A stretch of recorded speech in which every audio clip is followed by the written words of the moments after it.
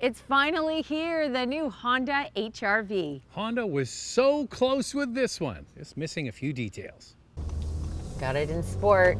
You, you, you kind of have to have it in sport because the engine is, hmm, I would call adequate. Yes. Andrea, what is the engine? What's under the hood? A two liter four cylinder matched to a CVT, 158 horsepower and 138 pound feet of torque.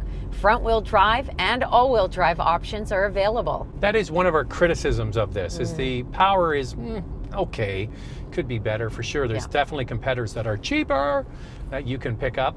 All right, so this is a brand new HRV. It's got to come with lots of stuff, right? Let's get into it. What are the key standard features?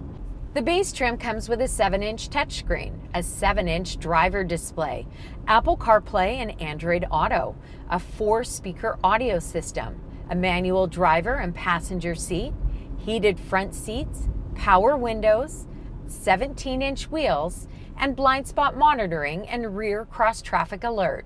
In the US, heated front seats and blind spot monitoring and rear cross traffic alert are available one up from the base model. So there's this drive mode here. Mm-hmm. You can put it in eco, eco, normal. There's no sport. You have to put the transmission in. Yeah, sport. but there is snow mode. Like that.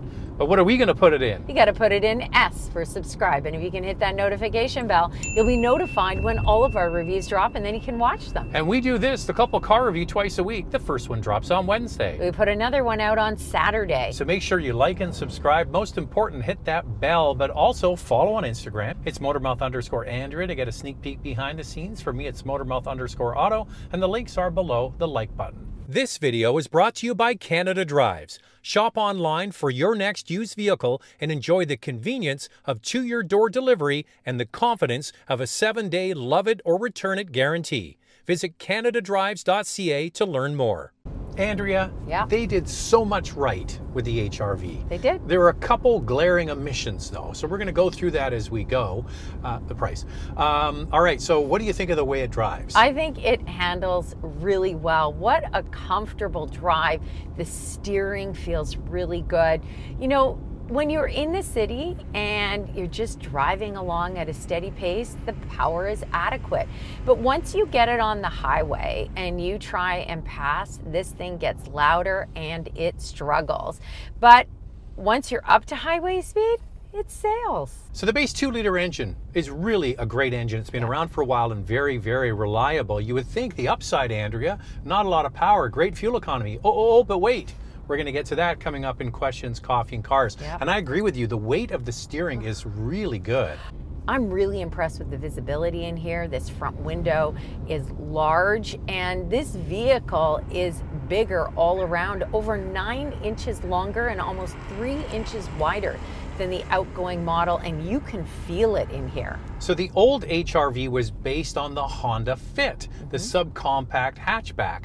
That's no longer sold in North America. They've migrated over towards the Honda Civic yeah. platform, which is also the same platform used for CRV. So it's a bigger car platform, bigger car you know, that's what us bigger North Americans want. We own a Honda Civic and it's actually quite fun to drive because it's lighter. It handles the lower horsepower and torque better than this. This is a bigger vehicle and you do feel it struggle. This new Honda Civic base platform is really rigid and firm. It gives you great feedback through the steering wheel, as we mentioned. Now we move to the outside, Andrea. I've got a few impressions of what this looks like. Mm. What do you think of the outside? Okay, so all I see from the front pinch grill is the Ford Escape, and mm -hmm. some may say Baby Cayenne because that's how the Ford Escape was described. And then from the back, it's really quite rounded, reminds me of the Mercedes Benz GLC. This is not typical of what we see from Honda. It has more of a European vibe to it. I see the same brands, Andrea, but different cars. Okay. When we were doing the car to car driving side by side, yeah. it looked a bit Mach E kind of from the front. Hmm. I don't know, you have a look at that. Okay. From the back, it's the Mercedes C Class wagon. That car not sold in the United States, but was sold until this year here in Canada. And I see this has a bit of a station wagon vibe to me. Some people think that this is really uninspiring, and they thought the same about the new Civic because it is quite a change for Honda. But I have to tell you this Honda doesn't change their design language very often, so I really think that this won't offend anyone and it will stand the test of time and will age really well. Don't love the wheels. The wheels Yeah. the wheels look too skinny and small for the car. Yeah, I mean, they should be bolder. Something with a little bit more pizzazz. In Canada, we only get 17 inch wheels, but you do have available 18 inch wheels in the US, which is kind of nice. Damn you. And, Ew. Oh. And then the pricing is so different north and south of the border mm-hmm. too. But then you get to the inside. Mm-hmm. Well done, Honda. This is an absolute study Yeah. in how to make a fantastic interior, except for the back seat. We'll get to that in just a moment. Up front, I love it here, Andrea. It echoes the new Civic, and I'm a big fan of that new Civic interior with this honeycomb design. It's beautiful and functional. There's plenty of storage in here. I really like the storage at the center console. It almost is a bit of a floating center console. And how about the traditional shifter? Well done, Honda. Yeah, so this center console tapers in. Yeah. You can put your cell phone under there, and so well thought out. They put the USB ports right next to that. There's USB ports and available charging pad only on the top trim, though. Yeah. And then the rest of it is got nice materials, Yeah. very comfortable. But you know what, Andrea? Over here, I don't have a, a seat adjustment. This is the most expensive model we're in, and it's a fixed seat, but it seems okay for my height. Unfortunately, in Canada, we do not get power seats, both manual driver and passenger. But in the US, on the top trim, a power driver seat is available. Lucky you. Now, let's get into the trims a bit. We've gone over the standard features. The sport model is where you're going to find a moonroof, a heated steering wheel, and this six speaker audio system. In the US, unfortunately, the moonroof is only available on the top trim.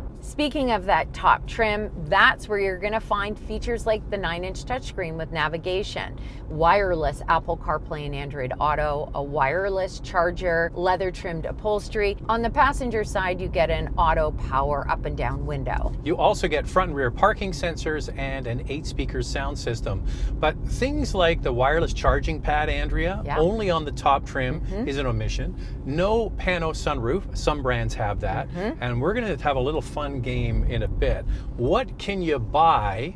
For similar money Hmm. against this top trim in Canada, it's an eye opener, a big eye opener. The pricing on this thing is wackadoodle. Couple other features missing ventilated front seats, heated rear seats, and a powered tailgate not available on any trim. All right, speaking of the rear seat, this, as I mentioned at the very beginning, is a showcase in how to do a functional interior. Lots of legroom, almost perfectly flat floor, really quite comfortable. However, there's no armrest and no cup holders. There's what this is the top trim. There's no center armrest and there's nowhere to put your cups. Where am I going to put my coffee if I ever sit in the back seat? What They're- about my kids Yeah. and their drinks? Yeah. Like, I don't understand that. They've made this vehicle bigger. And they made everything so much better. Yeah, but no armrest, no cup holders. Yeah, it's crazy. Not only is that back seat comfortable, but like Zack said, it offers plenty of second row leg room. The HRV and the Taos in this category offer the most. We mentioned there's no power liftgate, pretty typical in this class. There's a few that do, the Corolla Cross from Toyota, the CX-30 from Mazda or Mazda, and the Trailblazer from Chevrolet.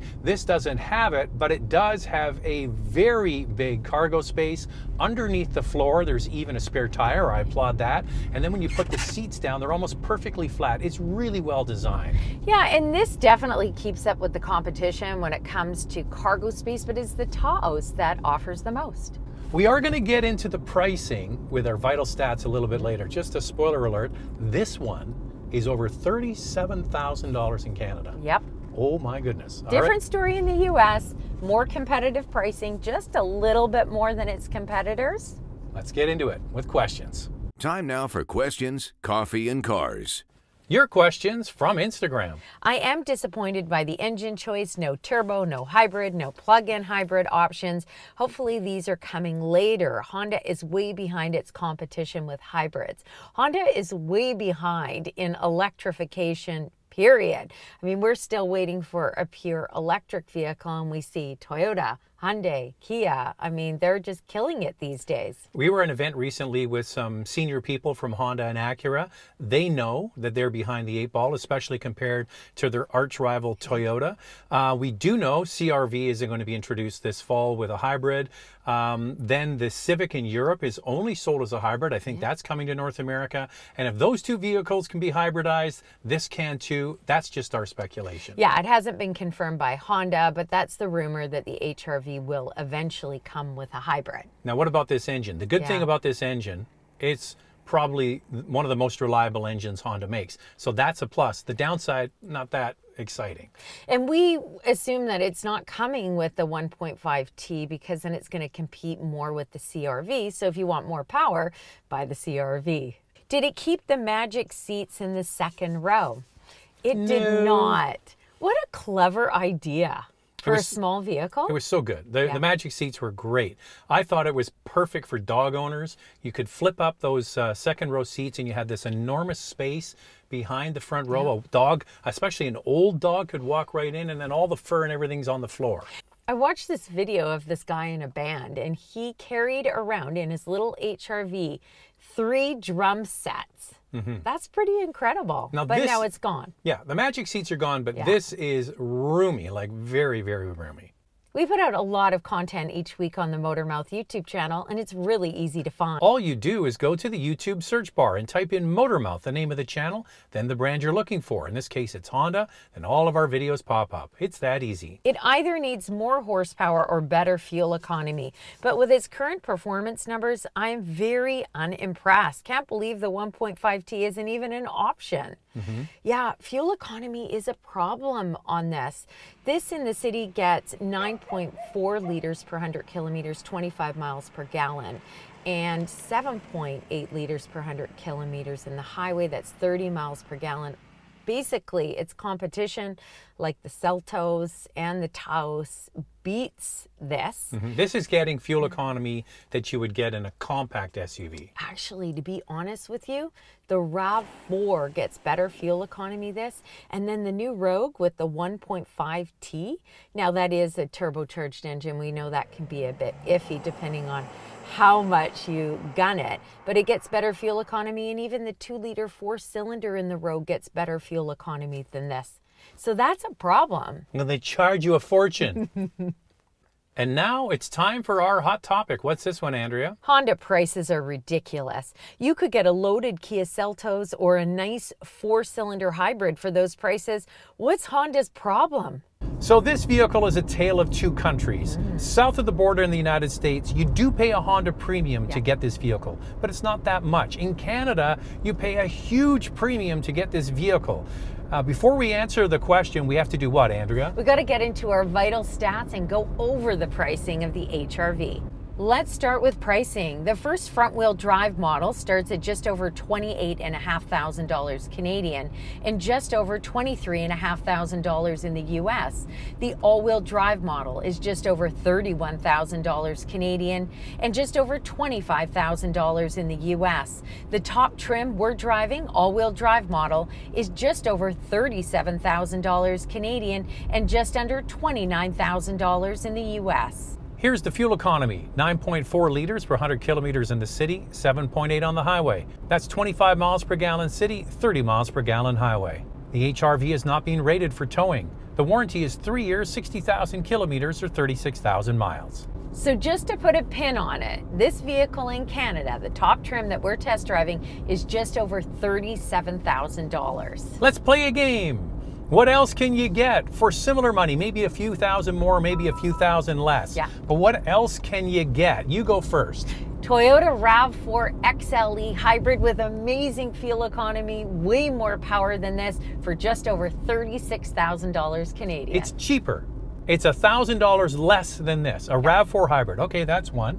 I got one for you. Yeah. What about an Audi? An Audi mm. premium car. The Q3 is twenty five hundred dollars more than this, and you're driving an Audi with a four year warranty. yeah, with the smaller engine. And it runs and it runs on regular gas. Yeah. Okay, my next pick is the Kia Sportage Hybrid. That base trim in Canada is less than this HRV top trim. All right, now a direct competitor of the same class. How about the Kia Seltos, but mm. not the base engine, the 1.6 liter turbo with the dual clutch transmission a similar kind of size to yeah. this. It's just under $34,000, so it's about $3,000 less than the HRV. And guess what? It comes with ventilated front seats and heated rear seats.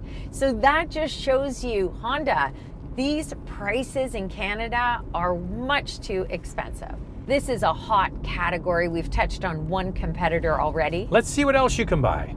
For your consideration, four vehicles for you to consider. Up first is the Toyota Corolla Cross with a 2 liter four cylinder, 169 horsepower, and a starting price of just under $25,000. The Subaru Crosstrek with a 2 liter four cylinder, 152 horsepower, and a starting price of just $25,000. The Kia Seltos with a 2 liter four cylinder, 146 horsepower, and a starting price of just over $23,500. Here's our used car alternative from CanadaDrives.ca. We chose something something just a little bit different a 2019 Volkswagen Golf SportWagen with just under 44,000 kilometers on the clock for $28,590.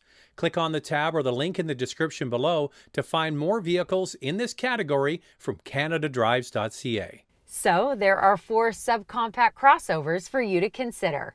Lightning round. Two things we like, two things we like to see improve. I really like the way that this handles and the comfort level.